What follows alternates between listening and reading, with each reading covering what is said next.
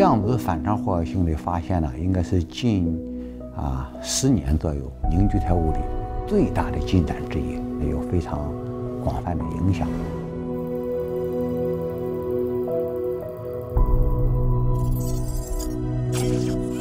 超导这个呢，也是啊近五年左右整个高温超导领域最重要的进展之一，而且呢，从概念上来讲，它是一个全新的、充满了颠覆性创新思想的这么一个呃想法导致的一个科学发现。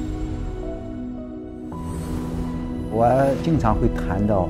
啊，科学家或者很多其他方面工作者，几十年如一日做一件事情，他会很坚持。你看到了吗？你们是这么装的吗？不是，这镊子用成这个样子了，啊，要不修修这个镊子？嗯？是吗？这个镊子已经两个都不一样了。在科学研究的不同阶段，你会看到不同的风景。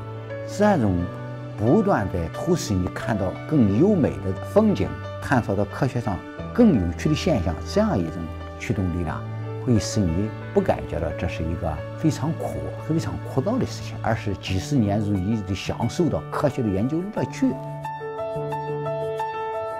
你要对这个实验非常的敏感，你听到啪一下，可能有什么事发生了，都应该引起你的警觉，多问几个问题，就和小孩一样好奇，然后呢，把你看到这些东西呢变成一个科学的问题。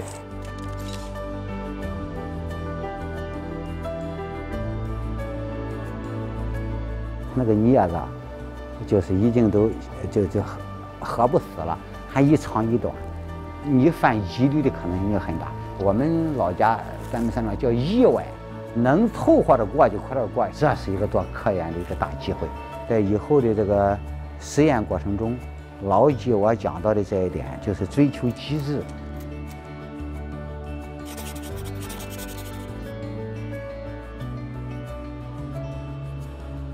我有一个爱好呢，就是有空的时候，啊，看这个地球仪。通过这个看这个地球仪呢，你会了解到这样一个旅游胜地呢为哪个国家，这个国家呢又位于地球的哪一个地方。到达这个旅游胜地，了解了具体的风景、具体的气候。如果你要问为什么会形成这种地貌、这种地质情况，你必然要和它处在这个地球上的位置呢之间的关系呢要进行思考。这一点呢和我们做科学研究上把握宏观。和具体、宏观和微观的关系非常的类似。通过这样经常啊思考这种问题呢，你有利于你在科学上研究把握方向。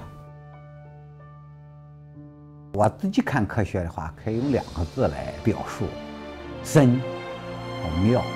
随着你这个经历的增加，研究水平的提高，你呀就和登山一样，你会爬到更高的位置，你会领略的更美。啊，呃，低处看不到的风光。当我转动地球仪，看到位于美国亚利桑那的弗兰斯塔夫这个地方的时候，感触特别的深。我清楚的记得，我第一次去美国开会的地点呢，就是在弗兰克斯塔夫这个地方。那是一九九五年，二零一四年，十九年以后，我再次回到弗兰克斯塔夫参加另一个国际会议。因为时差，晚上睡不着觉。这个时候，我就回忆起了过去十九年自己的发展历程，自己经历过的酸甜苦辣。十九年前的一九九五年，我们中国的科研条件还很差。十九年后的今天，由于经济的发展，国家的重视，我们科学家的科研条件也变好了。因此呢，我的研究团队也做出了世界领先的工作。所以回想过去，看看现在。我对未来的发展充满了信心，对我们中国的发展也充满了信心。